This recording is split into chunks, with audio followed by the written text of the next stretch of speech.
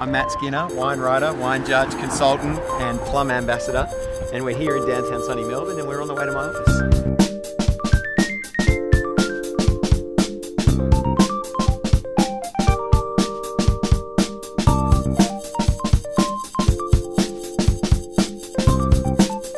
So welcome to my world. This is where I do my day to day. So that involves lots of tasting. So every Monday we're in here and we're tasting uh, around about 100 wines or thereabouts. And that sort of fuels uh, the, the basis of what makes up my column. So for Sunday Life, uh, in The Age and the Sydney Morning Herald, um, for BBC Good Food magazine, for Gourmet Traveller Wine, and for Home Beautiful. I consult to a couple of different restaurant groups, uh, most importantly the Van Haandel Group here in Melbourne.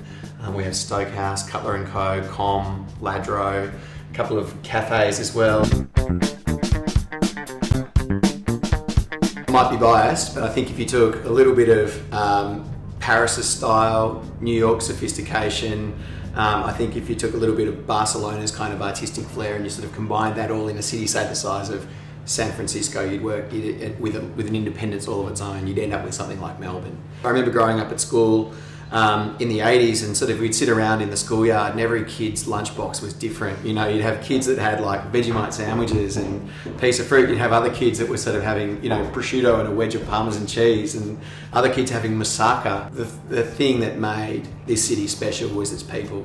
And I think that's played a, an enormous part in its development as one of the world's preeminent food and wine destinations. You know, I guess in my 17 years in wine, I've, um, I've, I've, spent half that time in retail, so I've sold a lot of wine-specific glassware.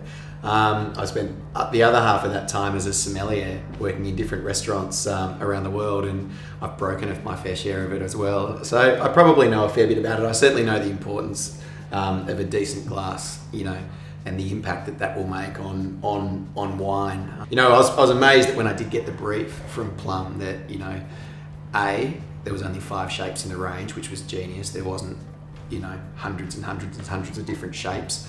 Um, they were manufactured three different ways, so easy to understand. And most importantly, I didn't need to have been to university in, in order to understand how they work. And I love the fact that it was something that was born out of Melbourne. You know, this was a, an idea put together by a team in Melbourne. Um, it was all about simplicity, practicality, and affordability. That was it. And you know, um, I, I, spend my life talking to people about wine and, and communicating uh, all things wine. And one thing I, I, always urge people to do is to get themselves a decent set of glasses because that makes all the difference to the experience.